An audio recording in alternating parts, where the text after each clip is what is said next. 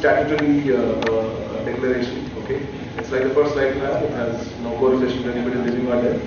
Whatever I answer to you has no correlation to anything which is to do with us being put up on the pedestal or being put on a cross. If I cannot answer your question, I will come back to you. So that's also okay. So you may or may not get your answer.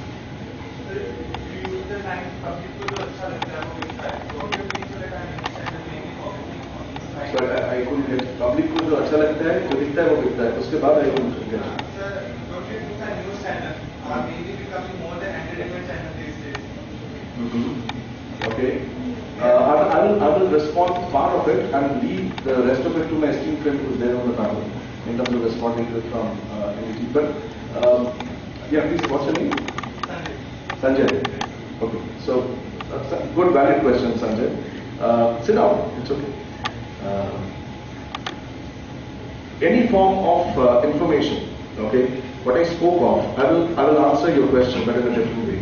And there are two parts to my, uh, to, to my answer. One is, any form of information which needs to be passed on to you, uh, you will only be a recipient of it in a very proactive manner and engage with it if, if there is certain element of interest which is involved in it, right?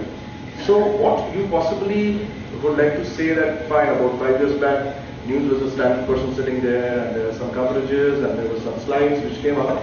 Um, uh, that time the mobile was only used for calling and sending SMSs, right?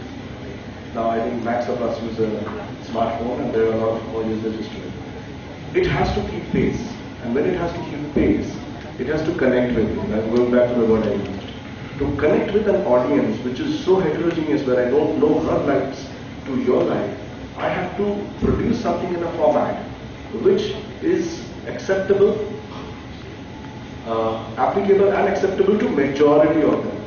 It may not be to 100%, but to majority of the audience. So while yes, at times people do term that it's become an entertainment mode of news which was supposed to be on information, that's why words like infotainment has been, you know, has taken birth. But I think there is nothing wrong till the time uh, there is sensibility involved in it. Okay, I'll tell you one fundamental principle which I follow, which forms the second part of my answer.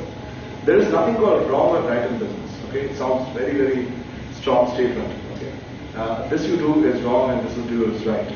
You produce a product for 10 rupees and you sell it for 40 rupees.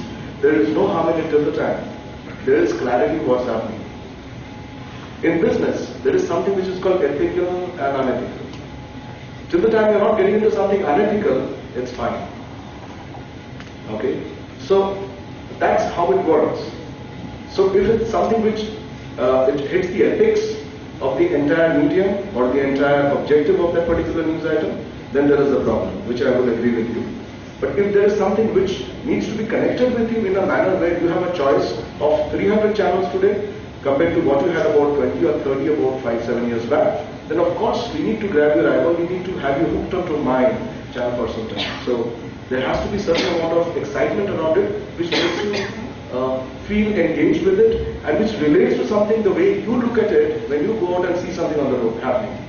It has to be from a consumer's view. Please understand, you see news nowadays as if if you were there, this is the way you would have looked at it, either from a balcony or from the road.